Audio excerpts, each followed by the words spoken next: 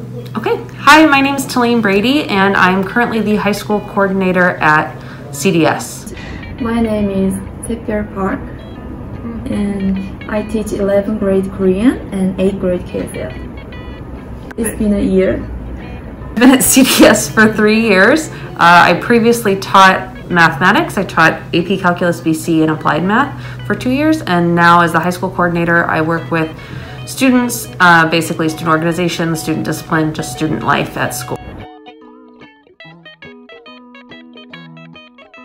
I decided to teach at CDS because I really wanted to return to Korea and I wanted to be at a small school that um, was connecting with like the wider Korean community and I've been able to find that here so I've been really really happy with it.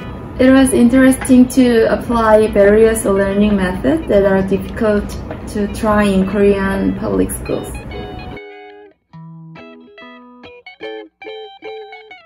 The pros and cons of being a teacher at CDS, uh, I think the pros is that you get a lot of freedom to kind of use your class and teach in your own way. And that can also be the con, I think, is that sometimes it's a little difficult to like maybe know exactly what you should teach, but I think the benefits outweigh the cons and that you get that freedom to kind of explore new things with your students in your classroom and do what's best for them and for you and uh, just for the class at large. The good thing is CDS students are very diligent and hardworking. They have a great passion for learning and actively participate in classes. Teachers also show a lot of interest and support to students.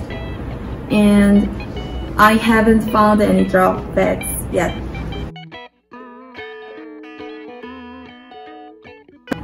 For example, when we study novels, Korean schools analyze novels and memorize only essential parts. It must be boring, right? But on the other hand, more active classes are available in Dalton. But sadly, both Korean schools and Dalton have a lot of learning. I think the biggest difference between other international schools and Dalton that I've seen is that Dalton is smaller and I think really gets to know its students. So students who are in the hallways are not strangers to teachers. That nobody is like, who is that kid? I've never seen them before. Um, we really know who our students are because there's not too many of them. So uh, we get to see them a lot. Uh, I've been to other international schools for conferences um, and various events. And I think that just the main difference is partly location. Like, you know, they're just in another part of Korea, so they might be located more conveniently for people. But definitely the size and number of students we have. And our students, because they might go to Korean universities or might go to international universities. Um, I think that we have a little more variety in like terms of student goals and and how they want to be part of Korean culture. So I think that's a little bit unique. If someone was thinking of joining the CDS faculty, I would say do it. Come. We are located fairly close to the airport. Cheongna is a great community. CDS is a great community where people get along and are welcoming and want people to be happy. And I would recommend it to anyone. Thank you.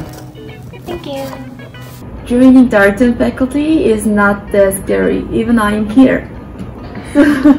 Welcome.